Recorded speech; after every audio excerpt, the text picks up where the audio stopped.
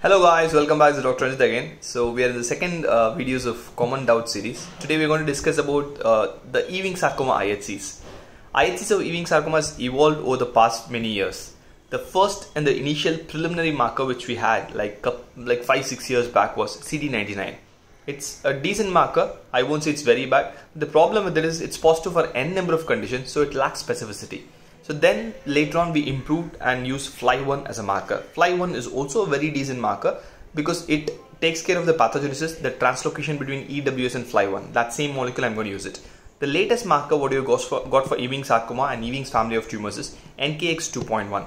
I want you to remember this. This is the marker which I'm going to use in day to day for diagnosis. So it might come in your exam. There's one more NKX called as NKX 3.3 which is useful for diagnosis of prostatic cancer. In addition to your PSA and your AMACR, do remember this as well. Fine.